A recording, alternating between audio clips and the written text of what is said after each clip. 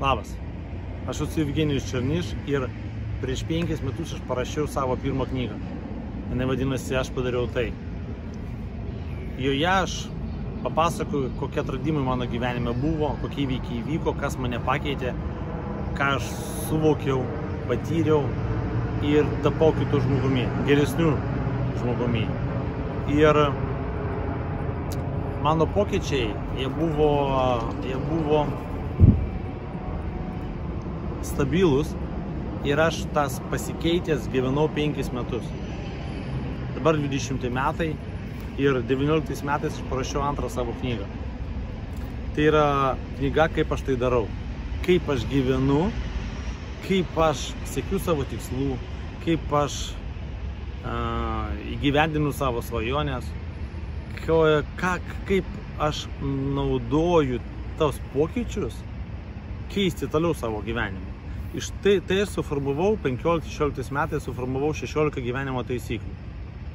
Kodėl tik dabar parašiau po 5 metų tą knygą, nes maniau, manau, kad nėra moralų, neišbandęs, nenaudojant apie tai kalbėti ir diskutuoti. 5 metus aš gyvenau naudodama šitą 16 taisyklių. Ir jos atvedė mane ten, kur aš esu dabar. Šios taisyklės veda mane dar toliau, link mano tikslų, link mano svajonių, link mano svajonių. Ir aš labai rekomenduoju naudoti šias taisyklės, nes jos padės jums pasiekti jūsų tikslų. Jums padės tapti geresnė savęs pačio versija. Tai yra paprastos aiškios taisyklės, kaip judėti link ten, kur jūs norite atsidurti. Be šitų 16 taisyklių aš neradau nieko, ko reikėtų žmogui dar daugiau. Nes tai yra strateginis mąstymas, tai yra poelgiai, kuriuos tu turi atlikti, kad tapti geresniu žmogumi, kad pasiekti savo tikslų, kad gyveninti savo svajonės, kad turėti puikią aplinką, kad mokėti bendrauti su žmonėmis, turėti daug energijos, turėti gerą fizinį kūną. Viskas yra sudėta čia.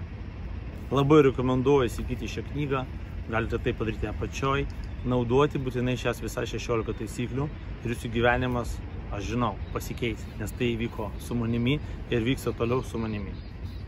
Skaitykit, naudokitės, keiskit savo gyvenimą. Ačiū.